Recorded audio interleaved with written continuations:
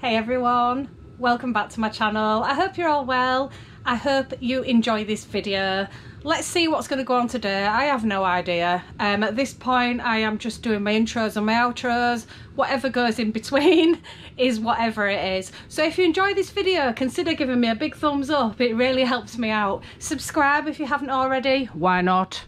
It's free and you can unsubscribe at any time, but don't because it's going to keep getting better. And hit the bell for notifications let's get into it guys. Hey guys. Right i've got some sales to show you. So we are going to start over here with rob's sales. This has been probably the quickest sale to date but i have got another one that was really fast today. So we'll see which one comes in better. I think i know to be fair with the price. The price says it all. Anyway um this is a men's medium wool jacket. It's diesel. It is a high neck this sold within five minutes of us listing it for £30. So after fees and what we paid, we have made 22 on that. £22, not pence. Um, Triumph t-shirt. This is in a, let's have a look, made in China, double XL. There's the graphic on it, it's very nice. That has gone for £10. So after fees and what we paid, we have made about £4 on that. We have a Leonard Hudson scarf. That has gone for six twenty nine. So after fees and what we paid, we have made about £3 on that. As I said, we're being really ruthless with things at the minute, getting rid of stuff that has hung around for a long time and making space for new stock for the new year. PG Field Jumper, we haven't had this long at all. This has gone really quick. Um, £15 for that. So after fees and what we've paid, we've made about 11 on that. Again, pounds, not pence. Um, I can never say this, and this is my writing. Pervu per Peruvian connection. yes, I did it. Anyway, this is a Kurt. Um, I'm not going to show you it because it's bagged up ready. This was £60 we got for this. So after fees and what we paid, we've made about 50 on that. Um, we have a pair of Ben Sherman boots here. These have gone for 14.24. So after fees and what we paid, we have made about £5 on those. Um, we have a blue Lacoste men's regular fit shirt in a size medium. That has gone for $8.99. So after fees and what we paid, we've made about £3 on that. I have a men's check shirt, champion check shirt, extra large. It's a nice one that. Um, eight ninety nine for that one. So again, after fees, we've made about two pound on that. I think. No, no, we've made about four pound on that. I won't, I dumb us down too much. We have a bundle of Brooks Taverner shirts here. Here we go. One, two, three. Um, they are all what size are they? Triple XL. They've gone for £25. So after fees and what we paid, we've made about £17 on that. And then we have a Spitalfields um, navy blue coat. Um, it's double breasted, like an overcoat. This has gone for 25 So after fees and what we paid, what we paid actually doesn't matter in this case because this was part of the massive bundle of clothes we got in an Orvis bag um, which basically paid for everything when we sold that, we have made on this £21. Happy days. So yeah, I'm going to get these parcelled in a minute. But before I do, I need to show you what I've sold. Let me see if I can find my phone first. One second, guys. Here it is. so as you can see, I've got quite a lot of stuff to parcel up again. We literally went out this morning we took 46 parcels out, 47 parcels out today. I can't even count. And then all this sold. So basically, we've done today's parcels, like yeah, what we've sold over the weekend, and a few things that sold this morning. Since then, all of this has sold. So let me get into this. Right, okay, so first of all, this little guy, isn't he gorgeous? He's beautiful in He's just right up my alley. Um, sounds so wrong sold him on Etsy anyway. Um, I've got a sale on on Etsy at the moment, and he has gone for thirty nine ninety nine plus postage. Um, so after fees and what I paid and everything, I've made about £34 on him. He's amazing. love him. Absolutely love him. Okay, let's go down to the bottom of my souls. Here we go. Right, so I have this gorgeous Ever After High doll. She's wearing a Barbie dress, just to confuse people. Um, £19 I got for her, which is a really good price. Um, so after fees and everything, I have made four, no, 13 on her. Sorry, I will get it right eventually. Forever Friends teapot. Bit of a dud, to be honest. I got £9 for this. So after everything coming off, I have made about £3.50 on that. Not too bad, but wouldn't rush to buy it again. The Henry Hoover, which um, I actually have a real Henry Hoover to sell as well, which is ours, which I'm going to part out because we've got a brand new Hoover and ours still works, but the tube was broken on it, so I'm going to try and part it out and see what happens with that. But this is a Henry Hoover toy, what um, Lisa got me in my mystery box. So thank you, Lisa. It is actually working. Um, I don't know whether I showed that on film, but I tried it, I tested it. It's all working, it's all nice and clean. Went for £15. So after fees and everything, I have made about £10 on that. This lovely cardigan here has gone to somebody that I follow on Instagram. Um, and it has gone for £10. It's a Poi by Krizia, made in Italy, vintage cardigan. This was part of the huge bundle. I'm still selling them, the ones that Rob got me for dirt cheap. Made my money back over and over again. So after postage and fees, I have made about £6 on that. Let's carry on. Oh, I've chucked that over there and I need to show you it. Christmas tree. Haha, I've sold my first one of these. Um, I've got two of these, you see. It's like a rope tree that goes outside. £47.50. So after my fees and everything, I have made about £40 on that one. Not to be sniffed at. These lovely etched glasses. One of them is chips. I did put that in the listing. These went really fast, within probably 12 hours of me listing them. These I've gone for £15. So after fees and everything, I've made about £8 on those. Laura Ashley um, cake forks. These are nice. I need to show you these really. Um, if I can open the box one-handed. Here we go. Do, do, do, Look at those. They're beautiful. Got these from a car boot in the summertime. Um, paid £2. They have sold for 18 So after fees and everything, I have made approximately £12 on those. I have some Armani jeans. My goodness, these don't go for what they used to. I have had these for about 84 years. I'm not even joking. It's been 84 years. They've been in a box and I forgot I had them. Um, 14.25 I got for these. So after fees and what I paid and everything, I've made about £6 on them yeah, not the best. Um, I've got this jacket here actually that I want to show you while we're here. This is a Chantel jacket in a size large, leather jacket. My sister-in-law gave me this. Um, it's gone for £15 on Vinted. So that's what I got, £15. Um, this mason jar is the other contender for the fastest selling thing ever on our eBays. £10 this went for on an offer. It had been listed for five minutes, same as the jumper. Ridiculous. Anyway, after fees and everything, I've made £5.50 on that. I've got this lovely um, shoulder massager, which has been knocking around for ages. Um, wouldn't pick these this up in a hurry again. £10 I got for this, so after fees and everything, I've made about £4 on that. Right, guys, better get these parcelled up so we can take them tomorrow.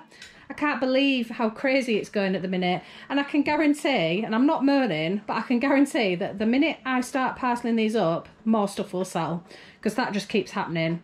But like I say, not complaining. It's amazing. And look at this guy. I'm going to miss him. Even though he was on a shelf. I mean, look at that nose. Look at that nose. yes, I'm going to have fun boxing him up. See you in the next bit. So over the last couple of weeks, I have noticed that a lot of people are trying to get partial refunds out of me. And also a lot of people are asking me to reserve items. I can't reserve items. So if it is anybody that watches on here, I apologise. But the problem is I've got to do what's best for my business. If you come to me and say I'm a subscriber, I really like this, will you save it for me? Then I would because I love you guys and I know you won't mess me about. But when people normally come to me and say, I get paid on so and so, will you reserve this?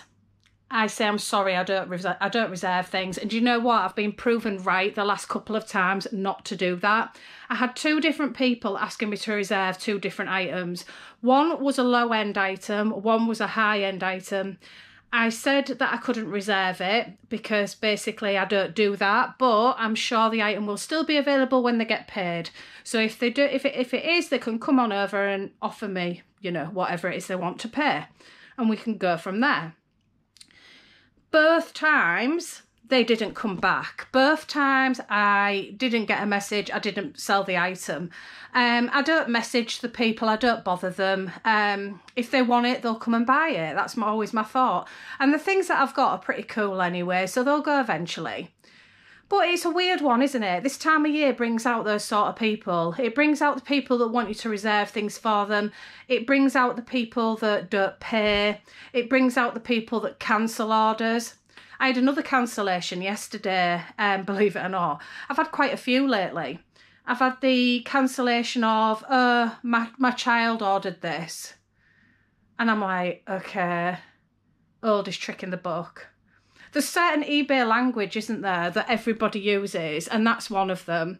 My child had my phone and ordered this item, and I know a lot of you say to me that's happened to me before, but I think a lot of people use that as an excuse.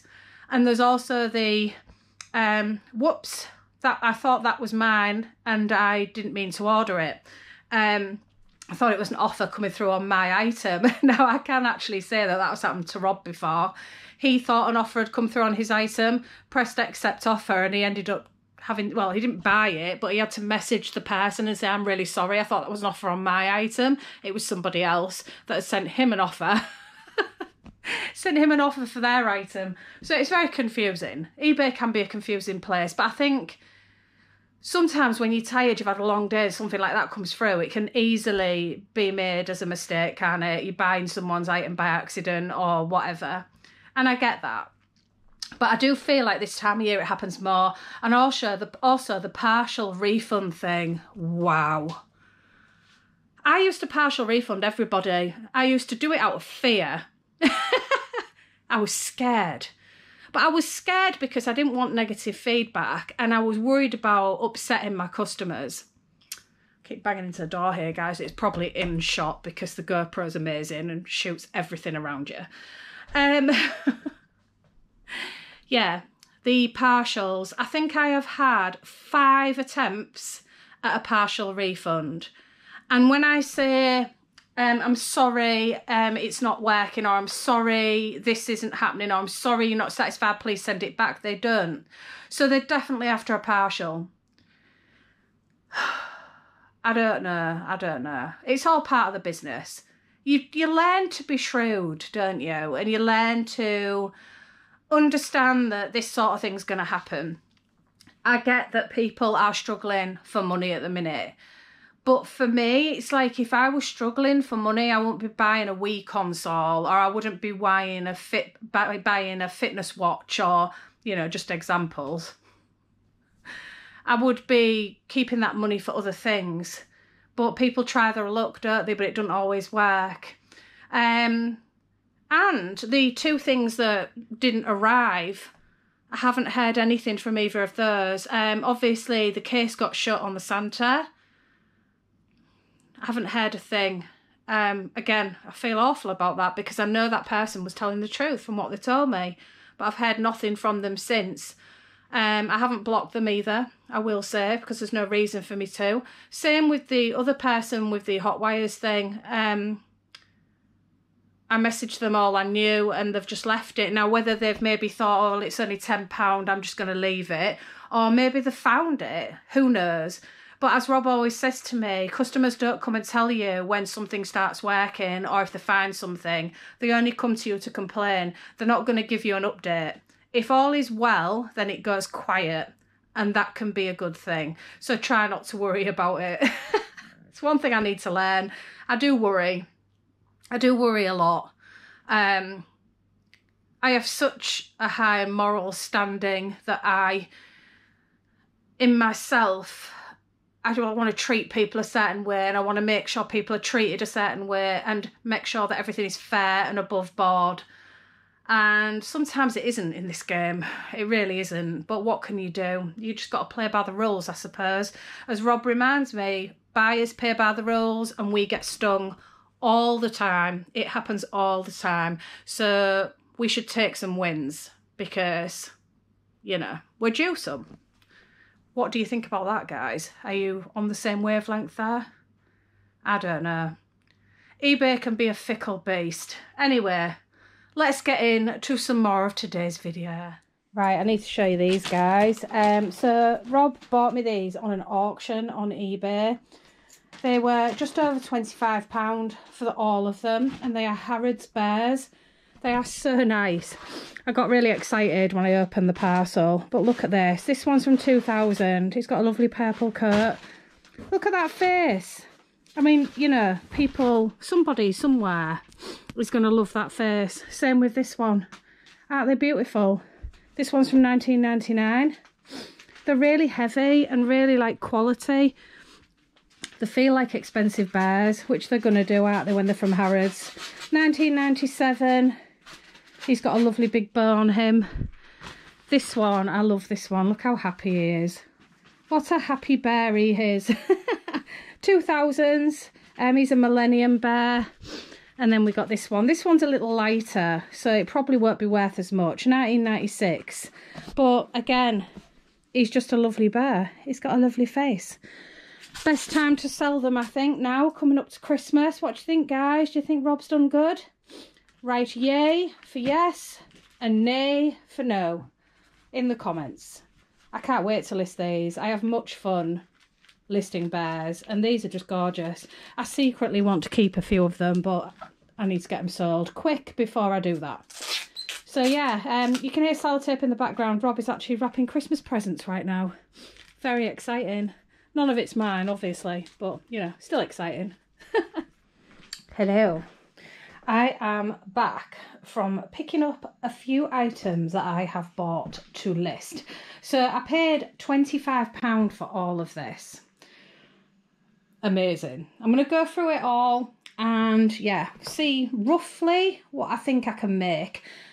I don't know on a lot of it, but I have got this really, really amazing doll, which I think is the most creepiest doll I've bought up to date, and I will show you why in a bit. So yeah, £25 for the lot. So the first thing, I need to check this works because I don't know. It is a snowing Christmas tree. Sounds like my worst nightmare. It's basically a tree in the bottom of an umbrella and it blows all of the snow, which is in here, polystyrene balls, up over the tree and probably all over your house, which is the thing that really gets me about it. I am going to get it out and test it, so you'll probably see that on camera. Um, so yeah, I don't know. Somebody somewhere will want it. I mean, it was £40 at some point somebody somewhere will want it. I've got this lovely um, modern baby Annabell doll. She's fully working. She makes all the noises. I won't put her on because I won't be able to shut her up. Um, I've got some Laura Ashley slip-on shoes, which appear to have not been worn very much. I mean, they've either not worn them or they've left the tag on and worn them. I'm not really sure. But yeah, they're quite nice. Um, some Dune or June, like sandals. Um, I was watching George Ross this morning and he bought some sandals, some, um, I think they were Dr. Martin sandals. They were the ones that fell apart. He said it was snowing, funnily enough, in his living room. Um, and he said, you know, it's always going to be warm somewhere. They'll go international. And I'm hoping these will. I have sold a few pairs of sandals recently, so fingers crossed they'll go. Um, I've got a mystery machine. All the figures are in there, in the top look. There they are. Um, don't know how much I'll get for that. Um, I'm thinking maybe 10 to 15 on this doll. Hopefully 30 on those. If they're new, maybe a little bit more. The Christmas tree, probably looking at £20. And Mystery Machine, probably 15 the Dune the Dune sandals or Dune June sandals. I think I'll get 15 for those. I've got these lovely Skechers. These are very Y2K. I had some very similar in the early 2000s. I think mine were pink though. And I hate pink, which is weird. But yeah, um, they should go. They're a size 7. Should get 15 for those. I've got these Converse All-Star high tops with no laces and they are stained. Um, I'm hoping I can get these marks out. I'll put them in the wash and see what happens with them. So I can't really say what I'll get for them right now, but they're in okay condition. They're a bit worn, but nothing major. Um, this gorgeous little trinket box. Look at that. Like a little jewellery box. It's got a ring compartment there. I really like that. I'm hoping I can get 15 for that. I've got these lovely little marble pots. I can't leave marble behind. Every time I find marble, I just want it. So this is a lovely little marble pot with this nice pattern on it. Um, and then I've got these two, like a green marble with brown. Very heavy. And then I've got this one with a lid. It's a very strange lid. Ignore what's inside. All these bits that are inside are off this, but we'll get into that in a minute. Um, yeah, hopefully I reckon there's about £20 worth there. Maybe not. Maybe 15. We'll see. We'll see, won't we? Um, some BT ferns, as long as these are working, they're £15 all day long. I think they have an answer phone with them. Yes, they do. Um, yeah, need to check they're working, but they should be pretty good. They need a clean as well. They are pretty disgusting. I ain't gonna lie. I've got these brand new Boys Next high top trainers in a size infant 10. Yeah, brand new. They should go for about seven, eight pound on Vinted. A little jewellery box. We love the jewellery boxes. This is a really nice vintage wooden one. Bit of marking inside, but nothing that won't clean up. Um, probably about 10 to 15 on that. I have a Noah's Ark with all the animals inside. I need to check it is complete. Noah is in there, which is good. Um, probably about 10 to 15 on that. I've got a Zhu Zhu Pets pack um, I'm not sure what this one's called. Oh, it's the Hamster House playset. It is brand new sealed. Um, I think I'll get about 15 for that, but we'll see. And then I've got this nativity set, which I have a sneaking suspicion. This is the nativity set that was supposed to be in the box that the other one's in. So I'll have to check that. When I got it, this wing was broken. Um, I have super glued it back on and it's staying for the time being. But yeah, um, they ain't even supposed to be doing that. Look, they're leaning over the baby and terrorising it. I think that one's fallen over. it's falling over and terrorising baby Jesus. There's some more figures over there. Um, yeah, I really like this. I'm not sure whether it's complete. I need to check it. Um, I don't know whether it's three wise men and the Kings. Oh, I don't even know. I'm terrible with stuff like this. Please forgive me. Um, I don't know how much this is worth, but it's cool. I really like it. Um, I'm hoping at least £20 for that. So let me know what you think, guys. £25 for the lot. Would you have picked this up? I need to show you this doll. Haven't showed you her yet, have I? She's amazing. I picked her up because she is obviously vintage. Look at her. She's got her eyes shut on me when she's actually sat up. I don't know how you're going to feel about this. So we'll see. Um, all I'm going to say to you is, if you don't like creepy dolls, maybe fast forward the next bit because I'm going to show you what she does. I need two hands to sort her out. Look, her eyes are open now. I need to get her out of the sunlight so you can see her properly. Right, let me wind her up and then I can show you properly. When I bought her, I didn't know she did this. Are you watching? She's moving, look. She's got a wind up mechanism on her back. And she's playing the go to sleep song while she's moving her top of her body back and forth. And she shuts her eyes as well, or she did. I might have broken her. Go. She moves her head up and down.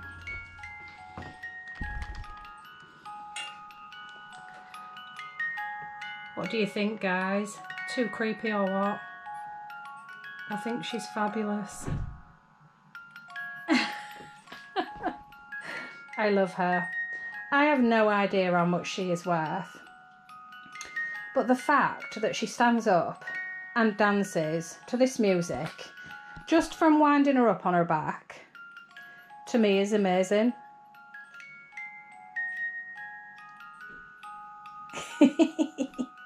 right, that's enough of that now. Say bye bye. Let's see if I can get her head working. Here we go. She shut her eyes. And now she's opening them again. She closes her eyes. I think it's so cute. I know a lot of you are going to be like, Julie, this is creepy. What are you doing? But I love her. I need to just sort her eye out. One of her eyes is winking. Look, she closes her eyes when she moves her head and then opens them again. I know a lot of you aren't going to find this interesting at all, but I think she's fantastic. I have no idea how much she's worth. I mean, her hair, bless her. She's got like a comb over going on, look. Her plaits start down here near her ear rolls. Um, she's got her ribbons in there. Look. Poor girl. Anyway, I think she's fabulous. I think she's beautiful and I'm hoping she will bring me good money. We will see. The proof is in the sales, as I always say. I don't always say that. I do always say it, but not on camera. the proof is in the sales. Um, you can buy the stuff, you can say you're going to sell it for whatever, you can list it for whatever, but until you sell it, you've made no money. So the proof is in the sales. So we will see how much this stunner makes me. I may auction her. Do you think she's an auction type piece? I don't know. What is these days? Sometimes you put things on auction and they don't even get a sniff, do they? I try auctions all the time, but they just don't work. I put something on for like two weeks and then I will put it back on to buy it now because I get really impatient. But yeah, let me know what you think anyway, guys. Would you have bought her? I didn't even know she did that. I just bought her because she's an old doll. Um, I think I've got some really good stuff here. I think there's good money to be made. Let's see what happens when I get it all listed which I don't know when that's going to be. I've got a massive backlog already. Should not be buying any more stock. But as I keep saying, I do not take my foot off the gas this time of year. I need to keep going. I have got six things to post up to now on my side, and I think Rob has about eight. So there's going to be another huge lot of stuff to take out tomorrow. it's where the cookie crumbles. I love it. Really hope you enjoyed that video, guys. Let me know in the comments what you think. I hope all your sales are going real well for Q4, and I hope you're all getting sorted for Christmas. Let me know in the comments. Take care, be kind, stay safe. Ta-ta!